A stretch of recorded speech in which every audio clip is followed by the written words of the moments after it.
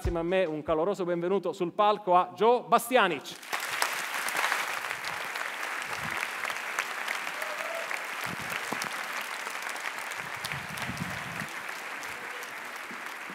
Ciao Joe.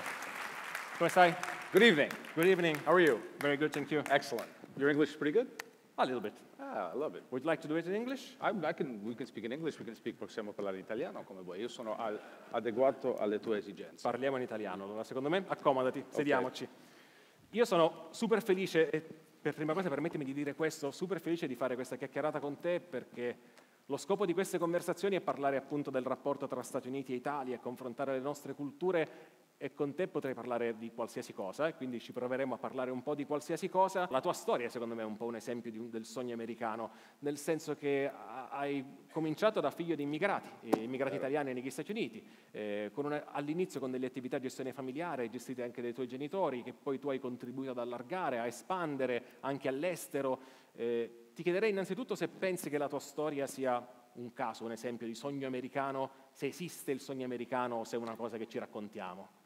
Guarda, um, la mia esistenza, io ci credo molto in questo concetto che soffriamo la nostra vita. Allora io sono un vittimo di quel che ho vissuto nei sensi positivi e negativi da un bambino giovane in periferia di Queens, New York. Sono nato nel 68, allora ho vissuto gli anni 70 da un bambino in un- un- una zona che si chiamava Astoria Queens, era pieno di immigranti greci, italiani, Jugoslavia a quel momento. Era un mondo molto mano a mano, nel senso, essendo la mia nonna, Erminia, che è immigrato dall'Istria italiana dopo la guerra, c'è, queste sono gente che hanno sofferto la fame, campi di concentramento, sono stati portati a New York dalla, dalla Caritas Cattolica, hanno dato i primi soldi per comprare banane che non hanno mai mangiato, ma non è una storia abbastanza drammatica, no? Certo. E questa nonna che mi ha cresciuto in qualche maniera mi ha insegnato che noi siamo meno dei altri, non meno mentalmente o culturalmente, ma nel status siamo di meno. Allora dobbiamo lavorare di più, studiare di più, essere più intelligente per arrivare al livello. E quella è una cosa quando proprio ce l'hai, la prendi in testa da quando sei nato, una cosa che non va via. Allora questa sempre ricerca di arrivare e non arrivare mai, magari ti porta anche verso l'American Dream tutto che viene in questa cultura americana che abbiamo, che è molto diversa dalla vostra cultura. Se ci sono delle diverse fondamentali che spezzano le due- i due paesi in maniera incredibile, perché tutti gli italiani pensano che conoscono l'America, no? Eh, io, eh, New York, stato a New York, ho ehi, visto Grand Canyon. Andiamo a Miami, a Los Angeles, eh, cioè io amo New York, eh, conosco America. No, non conoscete niente dell'America, perché l'America non è New York, Miami e Los Angeles. America, come tu sai, sei stato in questi posti, è tutta un'altra cosa. Allora capire la vera America è un compito non di poco, tu ti sei dedicato la vita come giornalista a farlo, stai arrivando pian piano, magari un giorno arrivi, però non è, non è- non è- non è facile. No, no, ma non è facile. ma- no. Non è facile per niente. Al di là del... No, ma è, è- divertente, ma è vero, nel senso che io ho dedicato la vita a fare questa cosa qui e ogni volta che vado negli Stati Uniti mi rendo conto che ci sono cose che non ho capito, che non ho afferrato, che non Ah, sapevo. Anche e- io, anche io. Noi facciamo queste chiacchierate, queste conversazioni anche perché poi quest'anno sarà un anno in cui inevitabilmente si parlerà molto di Stati Uniti, visto che andiamo verso le elezioni. Eh, tu che sensazione hai? Sei pessimista, sei fiducioso? Che aria tira nel paese Guarda, è una situazione sicuramente non ottimale tra tutte e due, due- tutte e due scelte.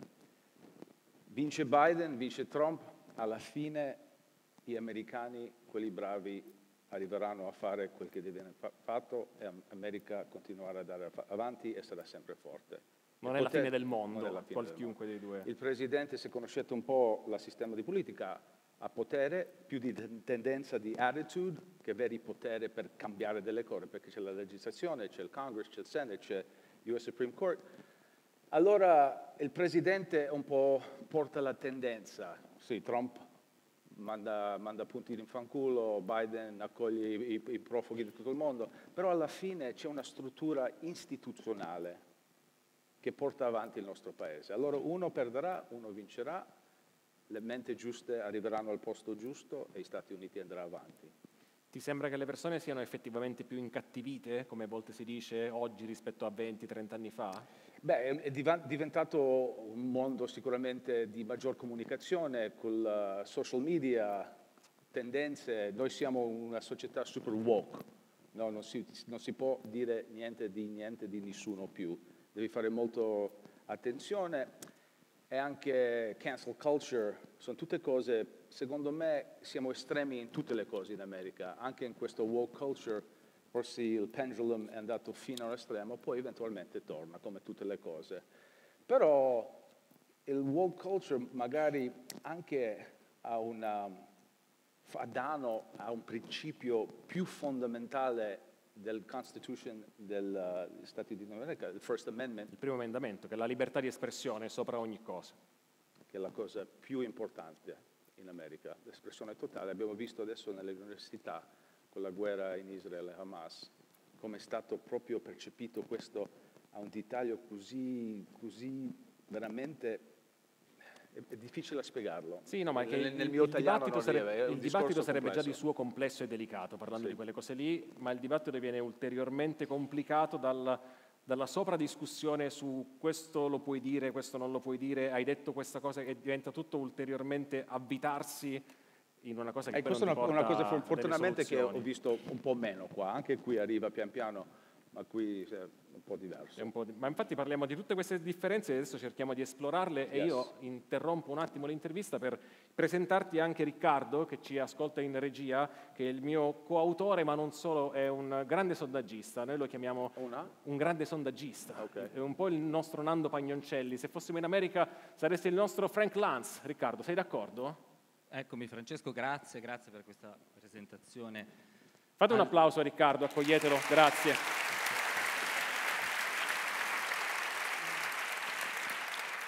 E ci tenevo a fare una premessa.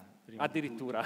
Sì, perché eh, durante la prima di, serata di Downtown avevo proposto dei fotomontaggi che avevano avuto grande successo, tra l'altro. Grande successo, ma sulla base di cosa lo dici?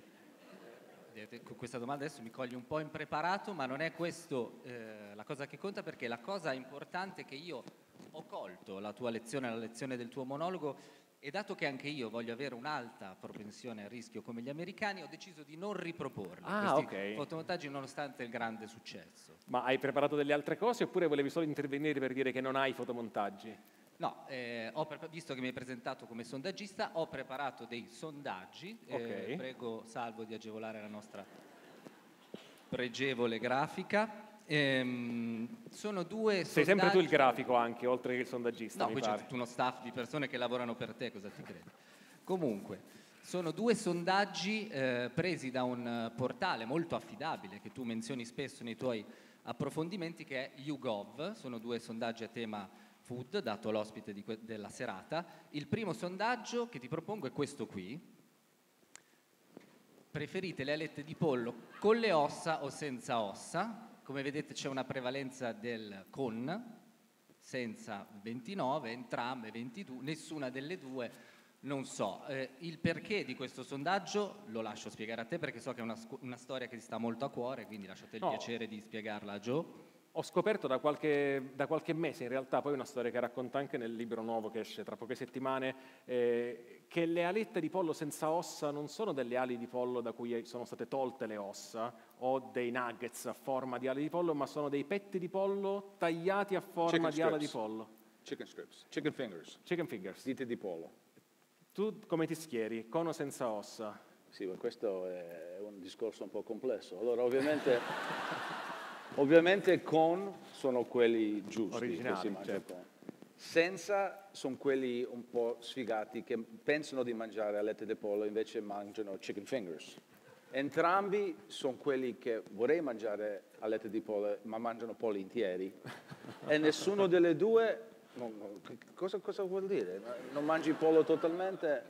Eh, io magari ci sono del 3% che non so. Che non so. C'è sempre quel mistero su chi sono quelli che nei sondaggi rispondono non so, non risponde, e in questo caso abbiamo invece eh, la soluzione. Avevi anche un altro sondaggio? Sì, il secondo sondaggio che ti Speravo di no. È questo. Eh, pensate che ristoranti e negozi dovrebbero consentire ai clienti di andare in giro scalzi? c'è una netta prevalenza del no. Allora, Ma c'è una eh, questione quindi sull'andare in giro scalzi.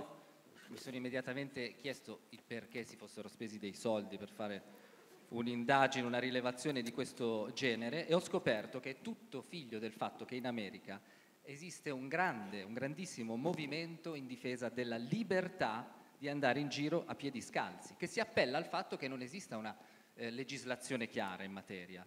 E, Ma perché poi- andare in giro scalzi è la domanda che mi faccio. Ci sono dei benefici? Loro sostengono di sì, perché eh, ovviamente in America sorgono associazioni in difesa di qualsiasi cosa e una delle associazioni che eh, sostiene questo, questo diritto, Ah, proprio al sito anche. questa è la home page della Society for Barefoot Living. È una delle tante associazioni che sono eh, sorte appunto per tutelare questo diritto. Loro organizzano dei raduni, offrono assistenza legale a chi poi incorre dei problemi Assistenza in, legale in questo stile di vita, non so, andando al lavoro scalzo, cose di, di questo genere. E a questo punto la cosa che mi viene da chiedere a Joe se qualche rappresentante, qualche iscritto a uno di questi movimenti si è mai presentato in uno dei suoi locali o ristoranti con, con la pretesa di cenare e andare in giro scalzo. Certo, questo è un discorso molto importante, infatti si alza il percentuale che non so a 11%, Ah, allora vedi. è un discorso molto più intellettuale. Difficile. Allora, del scalzo devo dire che io anche che corro, c'era un periodo che correvo scalzo, Ok. anche 5-10 km di scalzo, che è, In una co- pista, per strada? Per strada. Wow. Che è una cosa veramente incredibile. Se non l'hai mai provato, chi corre ti cambia totalmente l'allenamento della schiena il corpo, perché noi siamo animali, non nel senso che abbiamo camminati scalzo per tanti più anni che Certo. abbiamo le scarpe. Allora forse i nostri corpi naturalmente vanno in quella tendenza, magari se non ti sta bene la schiena, prova a camminare scalzo. Poi c'è la tendenza di grounding, no? che è avere una connessione con l'energia della, Della terra. terra. della terra. Eh, è una tendenza di benessere del Wimby, sai in America c'è tutto di stare Certo. bene, benessere, super importante, allora il grounding. Per entrare nel ristorante scalzo, hai mai visto Fast Times at Ridgemont High, il film con eh, Sean Penn negli No. anni 80? Eh, è, è fantastico. Lui si chiamava Jeff Spicoli. Qualcuno l'ha visto? Zero. Ai ai ai. Fast Times at Ridgemont High è uno dei gran classici della cinema degli anni 80, il primo ruolo importante di Sean Penn, Ah. che lui faceva un surfer in California, in Venice Beach, dove andava al fast food, entrava senza camicia, senza scarpe eh, e voleva ordinare. E il direttore del ristorante dice no shirt, no shoes, no dice, man. Ai ai ai. Allora non si poteva mangiare. Oggi come oggi dipende, realmente si può fare. Se tu vai a Venice Beach, Nessuno si formalizza no, se ti vai in qualsiasi scalzo. ristorante scalzo, nessuno ti dice niente. Noi siamo un paese di libertà totale, allora se tu vuoi senza camicia e scalzo andare al ristorante ti fanno mangiare. San Francisco c'è una legge che se non sbaglio permette di camminare nudi per strada, se Sì. vuoi, senza nessuna Sì, la- conseguenza. Qualcuno lo fa peraltro. La libertà è bella. No, infatti, infatti, ma guarda, ringraziando Riccardo che forse poi sentiremo più avanti per un altro diciamo, imperdibile momento, eh, volevo tornare appunto su- sugli aneddoti, sulla libertà, sulle, sulle origini. Parlavamo prima del fatto che sei cresciuto da storia nel Queens, in un contesto anche non semplicissimo. Eh, com'era la New York di quegli anni, anche per un immigrato, oltre che in Sì. generale? Bene, allora sono cresciuto, sono nato, mio papà faceva il cameriere, mia nonna e mia mamma lavorava sotto la casa nostra, in Astoria c'era una pasticceria, Walkins Bakery, Di quel Christopher Walken, di- dei- dei- della famiglia di Christopher Walken, l'attore.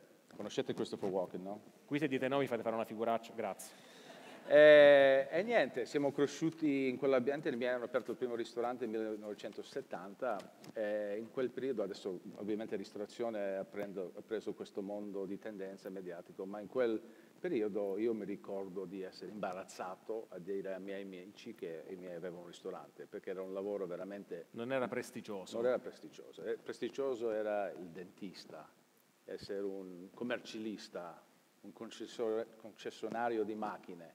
Essere un ristorantore era un, un- un- un lavoro molto sfigato. Poi il ristorante non era il ristorante solo, il ristorante era casa, era dove ci vedeva la famiglia, tornavo di scuola, no, andavo a casa, andavo al ristorante, mangiavo con la famiglia, andavo giù, facevo due cose, facevo i compiti sulle scatole dei pomodori, aspettavo che chiudessi il ristorante fino alle 11, mi addormentavo, mi portavano a casa e facevano la stessa cosa. Allora il ristorante era un po' la salvezza un immigrante senza la capacità di comunicazione, di lingua, che si può fare un stipendio per, per sostenere la famiglia.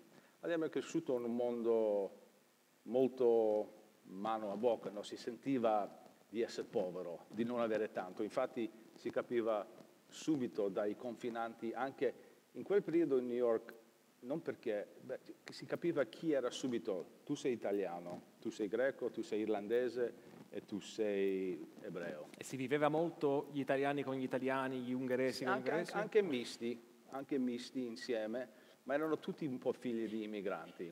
Magari gli ebrei avevano un'immigrazione un po' più di anni prima, allora erano un po' più benestanti, gli irlandesi avevano un'altra tendenza, tutti con i loro pregi e difetti culturali, ma da ragazzi, dai ragazzi si capiva subito la nazionalità dei tuoi compagni, perché lì già ti metteva in una posizione culturale eh, diversa. E niente, era un mondo era pericolosa? Ah? Si, da qui si sa che New York negli anni 70-80 c'era molta criminalità. Sì, hai visto tipo Fort Apache, The Bronx. Un po' di film anche Ma io sono cresciuto in quella cosa. Abitavo in Queens, prendevo il subway, andavo al South Bronx uh, a, a scuola ogni giorno nei ultimi anni 70. Era un periodo molto crudo, molto bello di New York, no? perché guardi anche i film di quell'epoca, c'è gli artisti, Basquiat, Andy Warhol, erano giù in Soho, facevano l'arte io ho vissuto nel Queens dove nascono nel 78 Ramones, no? proprio mm, nel certo. quartiere mio, Kiss, Queens, New York. Allora il primo punk rock nasce nel Queens praticamente nel 78. Da, ragazza, da ragazzi prendevano il subway, CBGB's, Bowery a vedere le matinee dei Ramones sabato pomeriggio, fumare sigarette a 11 anni in strada a vedere i Ramones, è vero. E poi durante la settimana andavo a a scuola nel South Bronx. E che succede in South Bronx? C'erano questi ragazzi, anche lì 78, 79, i primi break dancers. Uh-huh. E cosa nascono quelli che facevano il break? Il DJ che parlava mentre loro break e diventano i primi DJ. E nasce il primo rap. E hip hop nasce nel Bronx nel stesso momento della nascita di punk rock nel downtown Manhattan. Allora, se tu pensi di quel due generi di musica, tutto che ascoltiamo in certo. questo momento nel mondo nasce un po', sì, c'era il Beatles, c'era Elvis prima, però da, da hip hop parte tutto un mondo, da punk rock parte un altro. In due quartieri dello in stesso due quartieri posto. del stesso momento nascono quelle due musiche che io partecipavo. Dopo scuola c'erano i DJ, le feste nel Bronx, nei appartamenti dove facevano i primi DJ, i primi rap, i primi breakdancers. Ho vissuto quel momento come punk rock and Ramones, on the Bowery at CBGB's. Allora, una grande fortuna culturale. Era una città un po' più sporca, però molto, molto piena di vita, di arte, costava di meno, ancora gli artisti potevano vivere nella città, c'erano zone brutte abbandonate, recuperate da artisti, quel sviluppo di una città proprio in fermento. Certo, meno turismo anche sicuramente rispetto sì, a c'era meno turismo. Oggi. Era un, be- un, bellissimo periodo eh, quella cultura mi ha formato tantissimo, specialmente musi- di, della Nella musica. musica. Ci arriviamo, perché il primo ristorante, quello dei tuoi del 70, è il, il Bonavia, poi ce n'è un secondo che è il Villa Secondo, ma, ma poi chi, c'è... chi davano i nomi a questi ristoranti? Bonavia. Bonavia, però mi ricorda un po'... Però la Villa Seconda sarebbe il secondo Villa ristorante. Seconda, certo. Però è il terzo ristorante, mi sembra che cambia un po' le cose, perché il primo che aprite sì. a Manhattan. È vero, nei, nei, primi anni Ottanta nasce un po' anche il momento di nouvelle cuisine, ma anche i primi ristoranti proprio autentici italiani, no? nel 80. Um, gli ingredienti italiani di qualità arrivano per la prima volta, il riso arborio, aceto balsamico, olio di oliva, prosciutto, mozzarella, spedizione di, di cibo via aereo, tutto nasce in quel momento.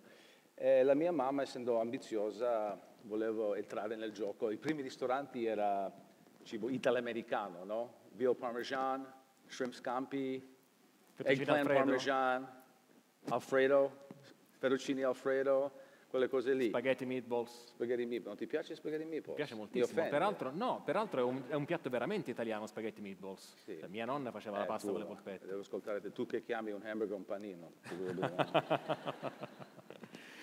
C'era però quindi un'idea di mettere insieme eh, una parte di cultura statunitense con questo ristorante e un'altra di prodotti di alta qualità italiana? Sì, però um, c'era un po' mia mamma entrata di niente, di faceva, faceva, la cassiera del primo ristorante, si è messo in cucina, ha iniziato anche all'epoca a fare le, i piatti un po' triestini, istriani per i clienti. Sai che loro avevano i clienti um, ebrei quei immigranti, dei parenti che vengono dall'est Europa, che era molto sensibile anche al cibo che si fa da noi a Trieste. Allora lei mm-hmm. proponeva la iota, i crauti ripieni, le, le, sarme, tutto questo cibo, e loro rispondevano bene. E lei ha avuto, avuto l'idea di aprire un ristorante, allora hanno venduto tutto, rischiato tutto, ho comprato un piccolo palazzo nella 58 Second Avenue, nel 79 hanno quasi fallito la costruzione, è andato tutto male, pregando le banche di soldi, un miracolo, hanno aperto questo ristorante nel 1980 che si chiama Felidia, un altro nome sfigato. Mio padre era Felice, mia mamma era Lidia, Felidia. Penso. Eh, da lì, da lì, anche fa parte della mia storia perché mia mamma andava in Italia, si girava nei, nei, anni Ottanta, abbiamo girato tutte le tre stelle in giro della macchina in Italia durante l'estate. Sai, non c'era aria condizionata, facevo 43 sì, gradi, poi, dire, con le finestre aperte in autostrada. Era ancora una grossissima scommessa, sì, non sì, eri ancora il grande imprenditore no, Gio Bastiani, no, quindi no, era da fare a, a vedere cosa era la vera cucina alta italiana per interpretarla. Quello era il momento di uh, Guartiero Macchesi che ha un po' lanciato uh-huh. tutto, cioè che è la cucina moderna italiana oggi. E le, loro partono con questo ristorante che ha successo. A livello di status, a quel punto era diverso, no? Avere un ristorante a Manhattan, o era ancora non sì. vista come una cosa così? No, no, no, essere in Manhattan era status, già in periferia era più sfigato in Manhattan perché se vedi gli anni 80 era la crescita della borsa, proprio certo. Wall Street, come lo vedi nei film, eccetera, eccetera, giravano i soldi, pompato di cocaina, ambizione, tutte quelle cose, erano dei anni dove la gente giravano, spendevano tanti soldi, è proprio il primo mondo di, che vedi nei film, del gente broco che vanno al ristorante, nasce in quel momento. Loro hanno avuto la fortuna di aprire un ristorante che stava un po' in quel mondo e è andato molto bene. In tutto questo parlavamo un attimo fa di cultura italiana del cibo, cultura statunitense del cibo, entriamo nell'argomento diciamo, che non possiamo evitare. Se ti parlo delle differenze principali tra il rapporto che abbiamo in Italia col cibo e negli Stati Uniti col cibo, cosa ti viene in mente? Beh, qui il rapporto col cibo è super personale, intimo, come detto, sacro, tradizione, di qualità, siete come un paese di tradizione molto collegato sull'agricoltura, siete molto vicino alla tradizione, avete una cultura di cibo ricca, ampia, diversa da un, un, città all'altra, cambiano le ricette. Eh, la biodiversità di questo paese è unica nel mondo, la diversità di, anche se sono, sono cosa, 9.000 km di costa. Certo. È un paese che nasce in centro Europa con le Alpi, finisce più sud del nord coast di Africa, biodiversità incredibile, venti, mare, eh, terreno fertile, biodiversità. Avete tutto qua per creare una, una cucina, è sempre stato. È una cosa bellissima. Infatti, infatti io ho fatto una carriera di prendere, interpretare la cultura vera di cibo italiano, portarla un po' al mondo. È stato il mio compito un po' della mia vita. Sì, ti ha, ti ha reso un, una specie di ambasciatore. Eh, negli Stati Uniti ti conoscono e ti riconoscono per questo ruolo di portare la sì, tradizione anche italiana. Sì, l'ho fatto modo. nella mia maniera piccola, nel mio primo ristorante che ho aperto nel 92, che si chiama, si chiama Becco, che è ancora certo. aperto. Però poi ho fatto la prima trattoria romana a New York, si chiama Lupa, che è aperto nel 96, che è già una trattoria romana non esisteva certo. nel concetto in America, stiamo parlando di 25 anni fa. Poi abbiamo, fatto, fatto, abbiamo un po' inventato il crudo, che non era una categoria, poi anche il crudo qua. Chi mangiava crudo 20 anni fa? Nessuno. I pescatori forse in, in Venezia o... Sì, si considerava forse una cosa pericolosa. Sì, o... sì, sì. E, abbiamo portato tanti, interpretando e sviluppando come il concetto di ristorazione, abbiamo cercato sempre di portare l'autentico e presentarlo al consumatore americano. Il consumatore americano è un consumatore molto generoso, molto studioso, vogliono le cose autentiche e vogliono essere mangiare per tanto bene. Allora rispondano a chi si impegna a fare le cose bene. Poi ho conosciuto Oscar Farinetti, abbiamo lanciato Italy in America col Flatiron che è aperto 15 anni fa, anche lì sono passati tanti anni, poi con le mie aziende agricole, producendo il vino, altre cose, ho sempre adesso... fatto, portando dell'Italia, poi portarlo in America, anche Corea, Giappone, Singapore, un po' nel mondo, Messico, però io ho vissuto su, su, su quello. Parlando proprio del rapporto tra noi, eh, tra noi italiani, gli americani e viceversa, chiederei a Riccardo se per caso ha avuto modo di elaborare le risposte a una storia su Instagram che avevo pubblicato qualche giorno fa chiedendo del, degli input ai miei follower. Sì, certamente sì, Francesco. E la settimana scorsa avevi appunto chiesto ai tuoi follower di scatenarsi su questo tema. Prego, Salvo, di mandare la prossima prestigiosa grafica. E, um, Unpopular Opinions Italia contro Stati Uniti. Allora io ho raccolto... Messo, hai messo il cerchietto rosso su Joe per evitare che ci confondessimo. Sì, per distinguerli. È utile. E, um, diciamo che ho raccolto le, le risposte più interessanti di questo sondaggio e ne ho estrapolato una mappa concettuale. Una mappa concettuale addirittura. Va bene, vediamo questa mappa concettuale. Sì, mandiamo la prima parte della mappa. Vabbè, è un elenco. cioè. Beh, eh, così però banalizzi tutto il mio lavoro e quello no, dei no, grafici. No. Hai anche, andiamo avanti, questa mappa concettuale quindi so, ci dice che commentare devo, dobbiamo leggere questo. No. Te ne leggo alcune io, okay, sono unpopular opinions degli italiani eh, secondo loro tra noi e gli americani, gli americani sono in media più ospitali degli italiani, a me sembra effettivamente così. Team Stati Uniti vincerà un mondiale di calcio prima del prossimo dell'Italia, non mi sembra fattibile. La cultura della mancia mi sembra assurda. Questa è una cosa che molti italiani pensano, della cultura della mancia. Infatti è una cosa bellissima. È bellissima. Io amo lasciare le mance, è proprio una cosa che dopo una bella esperienza lasciare 20-25% qualcuno che ti ha fatto stare bene è una cosa molto americana, mi piace farlo.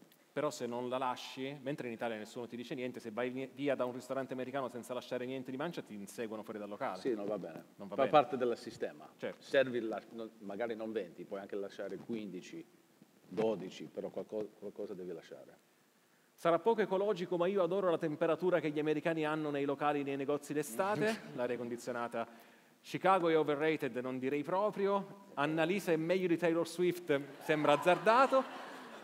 Cenare alle 18 non è poi così male. Io su questo sono assolutamente d'accordo. Tu ceni a orari italiani o orari no, no, americani? Io alle 6 e mezza ceno. 6 e mezza? Sì.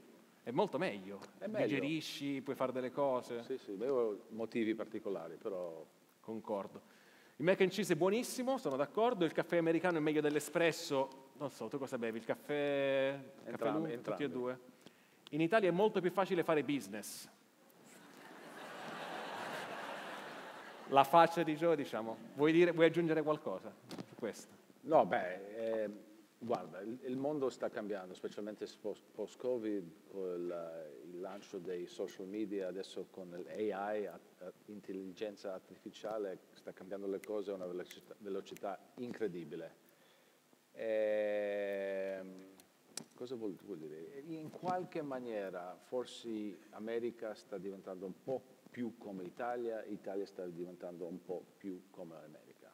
Però ci sono diverse, di, diversità fondamentali tra la mentalità americana e quella italiana. Quando mi chiedono questo spesso, magari avete sentito questa risposta, però il senso di successo, se io ho successo i miei amici sono contenti per il mio successo e vogliono stare con me, magari che il mio successo aiuta loro. Non, non c'è un, una invidia verso il successo di un altro, del tuo confinante. Perché... O, anche tentare di dire no, ma hai fatto successo perché qualcuno ti ha aiutato, perché non era merito tuo, sì, di smontarlo. Hai, sì, hai, hai fatto successo, sei contento quando uno fa successo E poi anche il concetto che successo non è definitivo, fallimento non è feta- fa- fatale, è la voglia di continuare che conta di più.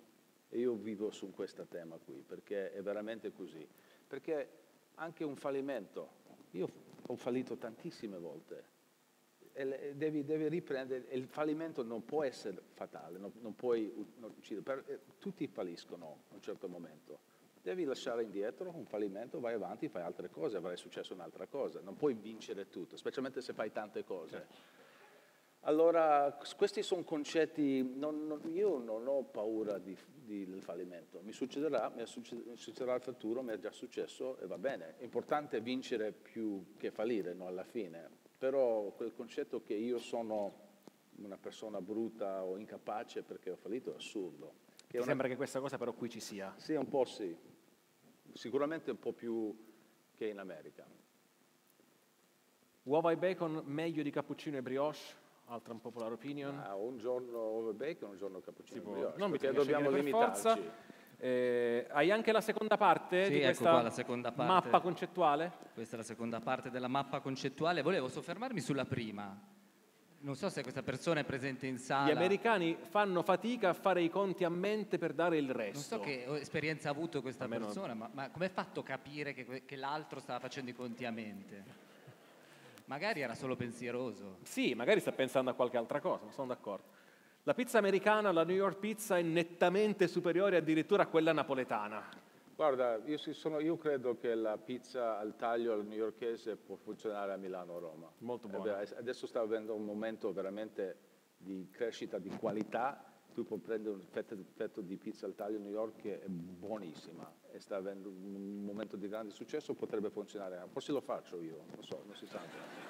Se si riesce a vendere la pizza americana agli italiani è un capolavoro la cucina italiana, come la vendiamo nel mondo, viene dagli immigrati italiani negli Stati Uniti. Il parmesan lo hanno fatto gli italiani in Wisconsin. Sì, beh, un po' il uh, sounds like è un problema. Allora, guarda, questo paese ha tanti, tanti vantaggi, tante fortune. I vostri prodotti, la tradizione, i cibi di qualità, la produzione di, di, di, di le cose DOP Dovete proteggere queste cose perché a difenderti in questo mondo avete tanta, tanta di quella produzione tra il vino, tra il cibo che devi essere protetto. Allora andare in giro per il mondo e proteggere il Made in Italy è un compito vostro fondamentale che dovete farla.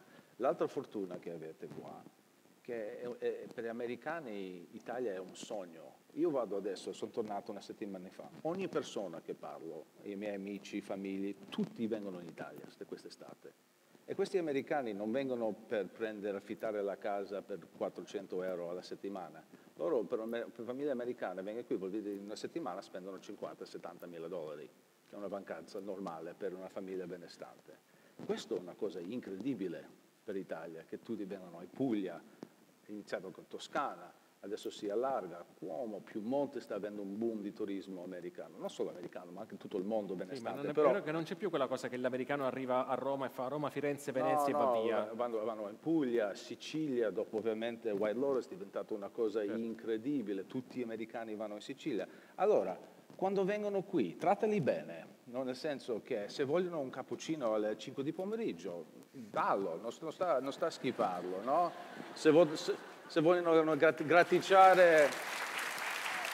È vero che il servizio è molto diverso. L'americano pensa che se il ristorante è aperto posso mangiare a qualsiasi ora, se voglio sì, fare colazione giusto, tardi posso... In Italia c'è no, questo prima delle 12, no, questo dopo lo facciamo. Sì, ma anche, ma anche il livello di servizio cerca... sono abituati a un livello forse un po' diverso però è una cosa importante, è una fortuna per questo paese il, il, il, il turismo americano, anche altro che arrivano qui. Alla fine il, turismo sarà un parte del GP di questo paese enorme, enorme. Allora sono cose che anche l'Italia può fare. Comunque l'immagine dell'Italia da un americano normale è fantastico. Loro pensano che qui è tutto fantastico, tutti vestiti in Prada, tutti, tutti magri. Hanno, sì, magri, hanno la Ferrari, hanno la, la villa accanto a George Clooney, a, se no la casa Amalfi, sono tutti belli come si vede nel film, loro pensano l'Italia sono tutti così, no? E loro vengono qua, vanno a Capri, prendono l'albergo per 4.000 dollari la sera, vanno a mangiare alla, alla trattoria al limone, prendono spaghetti e le vongole per 48 euro e stanno benissimo e piacciono questo concetto dell'Italia. Poi la vostra realtà è un po' diversa. Comunque l'immagine del Made in Italy, la moda, la bellezza, il style, Milano come il mondo, il mondo di moda, di tutto, la, la villeggiatura, Amalfi, adesso la Puglia tira tantissimo, ovviamente la Toscana, il vino, è una cosa incredibile e loro amano questa cosa, amano venire qui. Allora l'americano ama Italia e pensa che tutte le cose che vengono in Italia sono perfette e belle. Non capiscono veramente che succede qui, ma ci sta. Quello nemmeno noi ogni tanto, quindi.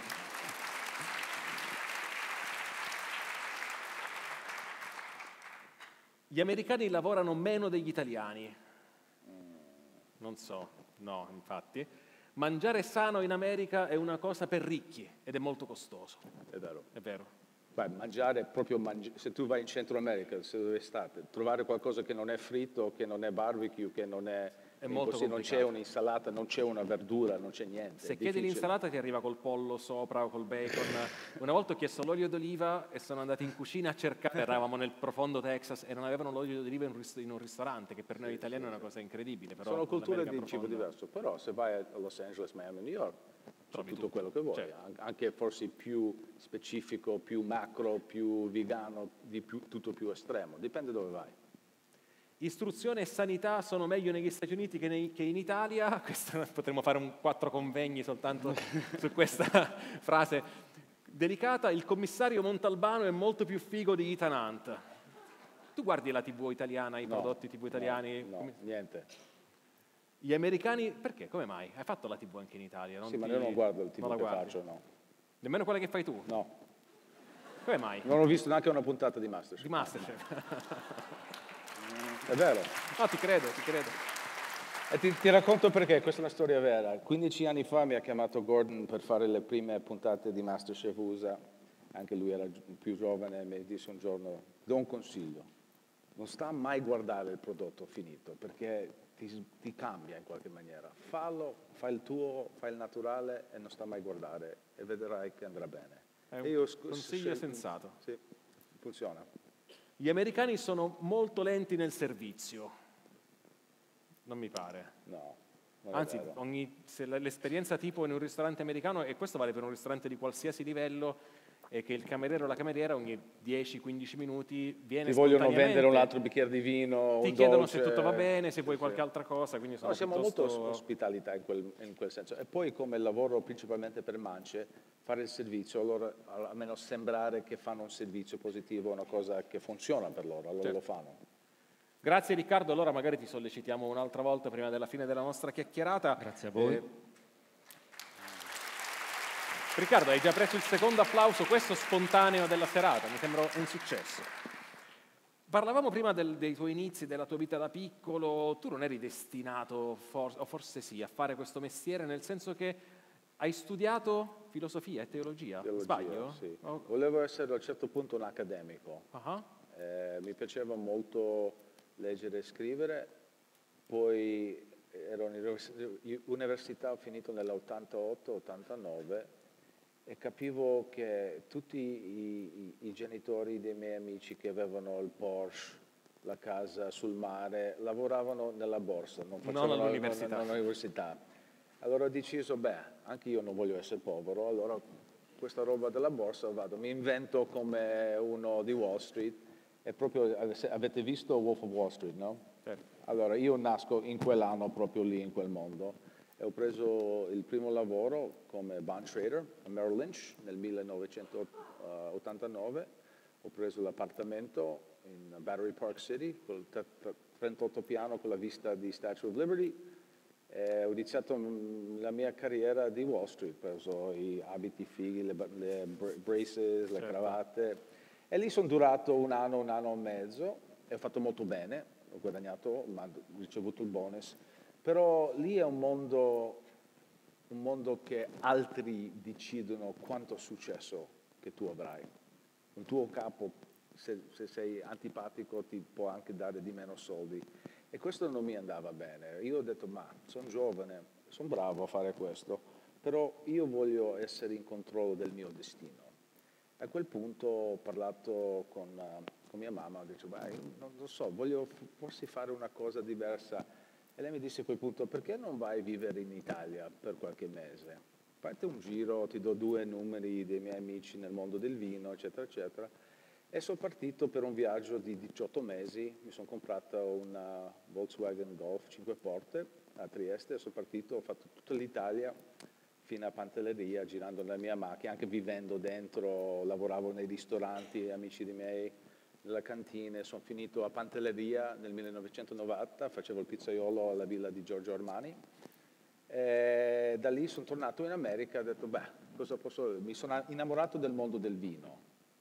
Poi, come un ragazzo di Queens che non ha mai fatto niente, si può iniziare o può partire con un'azienda agricola. Ho avuto un'idea, ho detto, mi, mi trovo una figlia di un conte toscano, me la sposo. Facciamo il matrimonio combinato. Entro dentro. La strada più breve. Non è andato bene. Niente. Niente.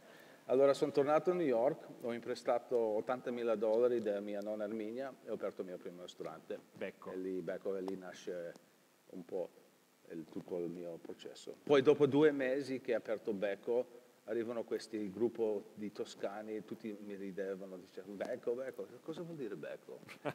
Ho detto becco vuol dire, sai, il becco che mangia, che assaggia le cose, detto, no, no, no, no, no vuol dire un'altra cosa. E non sapevo. Beh, è rimasto però. Ma, Ma adesso va di moda perché sono tutti cornuti. Certo. Qual era la differenza, se c'era una differenza nel concept del ristorante di Becco rispetto sì. a quelli che avevi fondato con i tuoi genitori, il fatto che questo fosse il tuo. Sì, beh, quello era una cosa molto, molto stretta, con pochi soldi.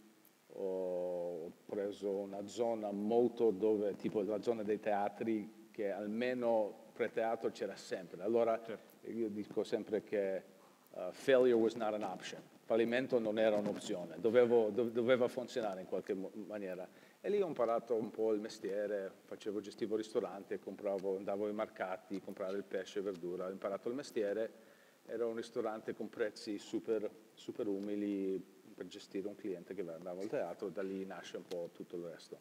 Da lì sono passati 30 anni, nel frattempo tu hai aperto, come ci raccontavi, un sacco di altri ristoranti ed è cambiato anche un po' il business della ristorazione, immagino, in questi 30 anni. Com'è cambiato? Assolutamente. Adesso beh, è, un altro, è un altro mestiere, il costo, è come, questo è molto simile, il costo del, del, prodotto è molto più alto, il costo dipendente è più alto, il, il, gioco diventa più grande. E nei vecchi tempi mio padre, il restaurant man originale, diceva tu investi dei tuoi soldi, incassi i 100, ti metti 20 in tasca e quella è la regola della ristorazione. Nessuno adesso riesce a, a marginare 20% un ristorante. Se sei bravo fai 10, Caspita. 8, 7, 5, i margini sono molto molto molto più piccoli che una volta. Poi anche il rischio è molto più alto dell'impresa, tanti dipendenti, giri tanti soldi, gente ti fanno causa, labor, blah, blah, blah, diventa un gioco un po' più complicato, molto più grande la globalizzazione, il social media, il fatto che il mondo è diventato più piccolo, sì, che beh, è più facile sapere che cosa si mangia in Italia anche se non sei mai stato in Italia, questo ha cambiato un po' anche io, io ho visto una cosa che ho lanciato qui in Italia dopo Covid, è proprio fare barbecue autentico, abbiamo lanciato il Joe America's Barbecue, Joe American barbecue Smash Burger. Sentivo proprio che anche in Italia volevano due anni di guardare i telefoni Instagram di tutto questo cibo volevano anche il cibo autentico, allora ci siamo messi a fare proprio authentic American barbecue come si fa in America, studiato, bah bah bah, poi smash burger, vogliamo fare altre cose. E il, scambio diventa qua là, non è come una volta che tutto solo Italia in America, portiamo un po' di America in Italia, che va bene. Quando oggi hai una nuova idea di un nuovo ristorante o di un nuovo business, eh, eh, qual è l'idea forte adesso? Qual è la cosa che Beh, fa funzionare un ristorante, per esempio? Adesso un po' il ristorante classico non mi interessa più. Io sono stato la fortuna di lanciare alcune brands tipo Sweet Green, che è una catena di mm. insalate che è andato in borsa due anni fa, Banza Pasta, che è una brand di pasta che andrà in borsa il prossimo anno, Adesso abbiamo lanciato l'antico vinaio, la, certo. la schiacciata di Firenze, abbiamo 8-10 aperti, apriamo 20 il prossimo anno in tutta l'America. Però non è che io sono un uh, collector of talent E mi succede tanto in Italia. Ho fondato fuori dall'azienda di, di burger, di barbecue, un'azienda di, pubblica, di, di social media management, di digital marketing, o sono socio nel, nell'azienda dei più grandi produttori di cannabis in Italia, Flower Farm, abbiamo B prodotti di cannabis, Ganja Cola, Ganja Flower Cola, Gin, sì. altre cose. Però io sono, quando vedo talento, ragazzi talentuosi che sono fermati perché del sistema, perché la paura, per proprio non avere il capitale, io non ce la faccio, devo portare, ok, dice ok, facciamo una SRL, metto io i soldi, voi siete i miei soci, facciamo questa cosa, prendiamo l'ufficio e loro poi partono. Per fare quel primo passo è molto difficile per tanti ragazzi qui in Italia, allora io mi, mi vedo come uno collezionista di talento. E anche di un potenziale inespresso. Cioè quelle Anche. persone il talento ce l'avevano, ma senza magari Senza- il tuo aiuto in quel momento non Ma sarebbe... non è solo sempre per fare soldi, solo anche per fare parte di una cosa di ragazzi talentuosi che hanno capacità o in cucina, sul digital media, su altre cose, e, e far parte di una crescita di un'azienda che nasce da niente diventa una cosa importante e mi dà una soddisfazione incredibile che io posso aiutare quello e fare parte di una cosa è una grandissima soddisfazione. Immagino. Eh, noi abbiamo cominciato questa conversazione parlando di In and Out, eh, ma tu collabori con una, la più grande catena di fast food eh, al mondo. Anche più buona a volte, però si chiama una Anche la piccola ristorazione che si chiama McDonald's. Che, che- che cosa vuol dire Eh, per te arrivare a collaborare con un gigante di quel tipo? Guarda, non perché sono io, ma chi meglio di me per raccontare McDonald's agli italiani? Certo. Perché anche quando ho detto, tutti mi hanno detto, oh, non puoi farlo, ti parleranno male di te. Guarda, il McDonald's per me, io abitavo sopra il McDonald's, al secondo piano in questa casa in Astoria. Io sentivo il McDonald's ogni mattina, ogni sera dalla mia finestra, quell'odore del fritto, del hamburger, Delizioso, buonissimo. certo, divino. Mia nonna mi portava quando ero bambino bravo, a 5 anni, a prendere il Happy Meal, è il momento più felicità della mia vita. Per me McDonald's è parte della mia vita, è sempre stato, ho vissuto sopra, andavo da bambino, andavo sempre, ma anche per gli americani, anche gli imprenditori più importanti, i presidenti, tutti vanno a McDonald's una volta al mese, magari non mangi ogni giorno, ma è una parte della nostra vita, è normale, è buono, è sano, magari non devi mangiare ogni giorno, ma fa parte della nostra cultura, è una cosa normalissima, fatto bene, con grande dignità, è un successo di ristorazione incredibile nel mondo e hanno fatto una cosa veramente importante e bellissima, McDonald's, per me. No, ma io trovo molto bello il fatto che tu riesca a tenere insieme mondi che con superficialità potremmo considerare molto lontani dall'alta cucina a McDonald's, ma che invece nel tuo racconto hanno un filo che li lega e che, che funziona perfettamente. Mi chiedevo se a questo punto possiamo far continuare questo filo e uscire dal tema della cucina e parlare, tu ne accennavi poco fa, del- del- della tua esperienza nella musica, della tua carriera da, da musicista. Quando nasce, perché? È, è business, è passione? No, è, è totalmente passione, sono cresciuto con la musica. Guarda, anche torniamo a quel bambino di 10 anni con i suoi amici nelle periferie di New York. Io mi sentivo al difetto che la mia famiglia era, il nostro casa a Queens era un borgo italiano su un angolo. Nel garage non c'erano macchine, c'era fermentazione di salumi, di, di vino, di carne, non c'era, non c'era erba, erba via, produzione di cibo, pomodori, melanzane. Il, il- il padre mio che suonava... Cioè, avete la- l'orto ad Astoria. L'orto, orto, orto. Che bello. Totalmente orto, orto al cimento, perché erba è inutile, non, non- non dà produzione. Certo. C'era mio padre che suonava la fisarmonica e le mutande, la mia nonna che faceva il giardinaggio con il reggiseggio fuori. Mia, sai, e, e guardavo i miei confinanti che si chiamava Graf, no? e la moglie era un tedesco, aveva questa moglie bionda, alte, bella, due bocce così, con le, con le gambe eh, dipelate. E ho detto, ma io voglio una mamma così. e allora la, la aveva un Porsche, io, il mio padre aveva un Mercedes-Benz 220 del- del- degli anni 71, una macchina sfigatissima, che non poteva stare in garage perché c'era il vino. Perché c'era il vino, che il salame.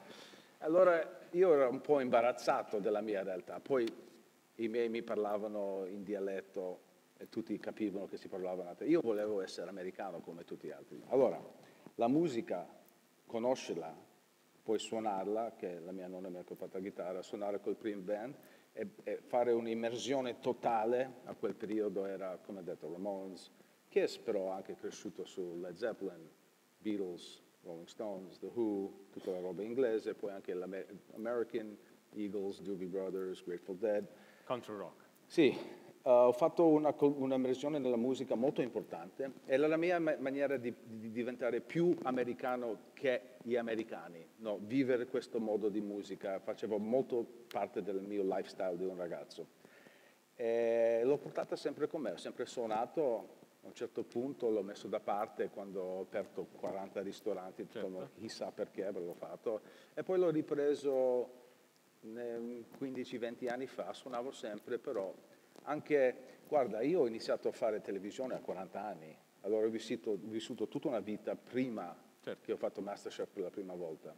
Allora la televisione mi ha aperto un mondo più artistico, capivo che potevo far divertire la gente, farli ridere e quel ti dà una confidenza.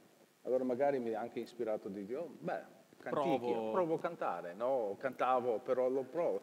E da lì cresce questa necessità di esprimerti in una maniera artistica, che è una cosa importante. Forse se dovevo cambiare una cosa nella mia vita, essere più espressivo nella mia creatività prima quando ero più giovane. Però lo porto sempre con me. Dato che parliamo di musica e di musica anche country rock, devo chiederti cosa pensi di Taylor Swift? Beh, sta, sta facendo una cosa incredibile, no? sta a Milano il 14 a luglio, luglio sì. ci sarò io eh, per la prima volta, guarda, fa, ha sconvolto tutto, il più grande del Beatles, Elvis messo insieme. Sta, Ma se tu dovessi spiegare agli italiani che molto spesso se non seguivano Taylor Swift da prima, che cosa è successo? Perché Taylor Swift è famosa da tantissimo tempo, ma negli ultimi anni c'è stato qualcosa allora, che è dimmi, cambiato. Dimmi te, San Siro, due sere, sold out, 80.000 persone, chi, chi sta andando a vederla? Un sacco di gente. Un sacco di gente, certo. vuol dire che non, è, non sono io, solo io. No, no. Lei è riuscito a comunicare alla ragazza normale un senso di, di, sulla difficoltà nella vita di crescere una bambina, di tutte le, le, le problemi dei ragazzi di crescere che le bambine hanno dai, dai, da adolescence fino a teenagers ha trovato una maniera di comunicare con loro che lei si presenta e scrive delle cose vere e tocca un veno così potente in tutte queste ragazzine che magari non c'era mai prima una persona, lei è bella, figa, tutto, però anche abbastanza normale nella sua crescita e lei scrive, parla delle cose normali e le ragazze la adorano, tutti la adorano, è, una, è un fenomeno veramente incredibile. A proposito di comunicazione di nuovo, chiederei a Riccardo se ha qualche altra perla da condividere con noi prima di salutarci stasera. Purtroppo sì. Bene, muoio, anzi muoro dalla curiosità. Perché è arrivato il momento che temevo di più, ma anche quello che tutti quanti qua dentro aspettavano, cioè quello di svelare finalmente che cosa contenga quel barattolo che c'è davanti a voi sul tavolino. Ma siamo arrivati così bassi che dobbiamo andare a pescare le cose che ho sbagliato in televisione dieci anni fa in italiano per rendere queste persone felici. Eh sì, in estrema esatto. sintesi. In estrema sintesi sì. Si può alzare il livello.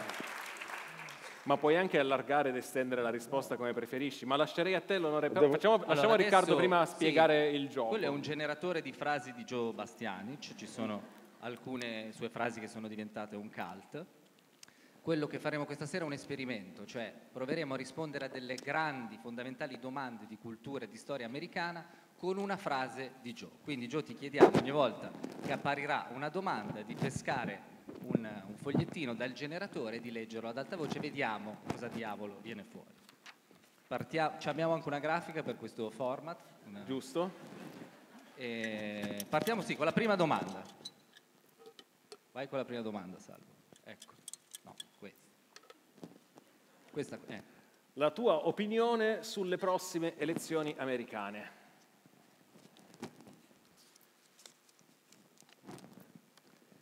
Se pensate che le prove difficili siano già state, vi sbagliate. Le prove difficili devono ancora arrivare. Beh, beh, è, è la cosa che ci dicevi anche prima. C'è ancora molto altro dopo. Vabbè, fin qui liscia. Questa Poi, è una, una domanda, vabbè. eh, Lo sbarco sulla Luna è avvenuto davvero? È come un film di orrore.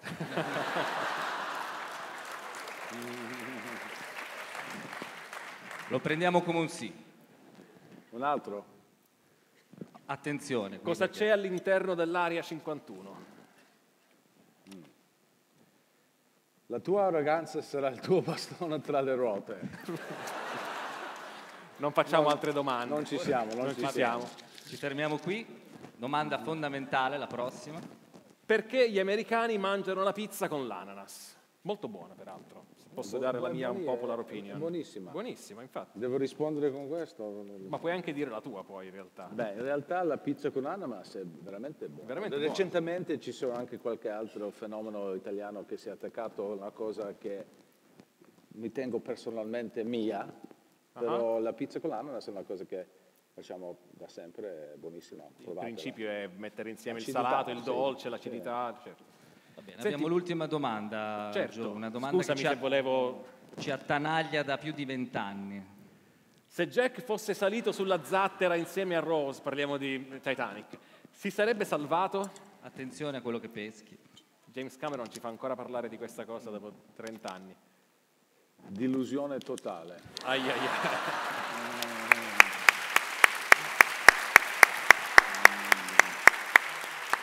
Grazie Riccardo, grazie mille. Grazie a voi, è un piacere. Senti, ma dopo la musica hai degli altri progetti imprenditoriali che non riguardano il cibo in altri campi? Sì, sempre magari anche un po'... Ho fatto già un po' di teatro come questo, vorrei fare di più, un po' raccontarmi con la musica. Ho fatto una cosa che si chiamava Vina Veritas qui a Milano un po' di anni fa. Eh, cos'altro? Sempre più musica, eh, niente, anche prendere la vita, viaggiare un po'. ehm, no, abbastanza tranquillo.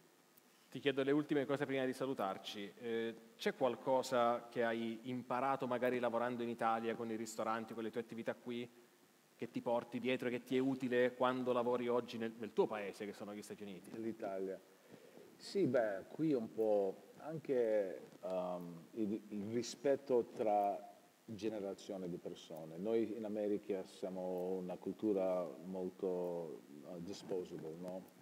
E qui vedo un rispetto per quelli che vengono prima, che hanno creato anche che possono fare delle cose fighe a un'età più grande, il rispetto per i nonni, che, tutto, che è una cosa importantissima che dà tanta struttura, tanta saggezza a chi riesci a prendere, a chi ha vissuto già una cosa e trattarli con rispetto, prendere il meglio delle persone più anziane, che è una cosa molto italiana, molto valida e che lo uso io nella mia vita, lo porto sempre con me. Cerco di insegnare le mie squadre in America che è importantissimo sfruttare la gente più grande che hanno avuto l'esperienza nella vita. È interessante perché se vuoi è il, il contraltare è l'opposto della cosa che raccontavo io all'inizio sul fatto del- di non avere il senso del sacro, di dimenticare il passato molto facilmente eh, ed, è, ed è vero che c'è in questo una grossa differenza rispetto a- all'attenzione che c'è in Italia per quello che è stato, per chi Certo. può insegnarti qualcosa. E allora a proposito di guardarsi indietro, noi abbiamo cominciato questa chiacchierata e tu ci hai raccontato di quando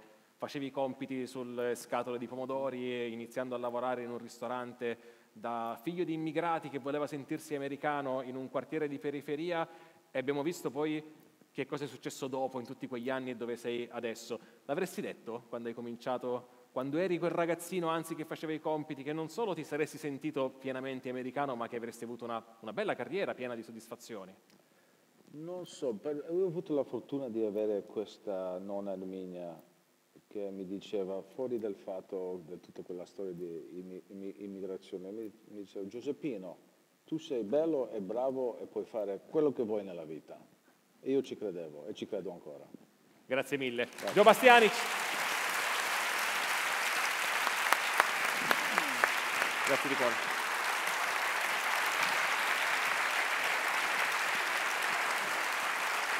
Grazie mille, grazie per essere stati qui.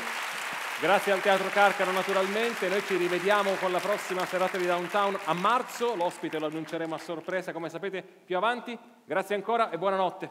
Ciao. Ciao.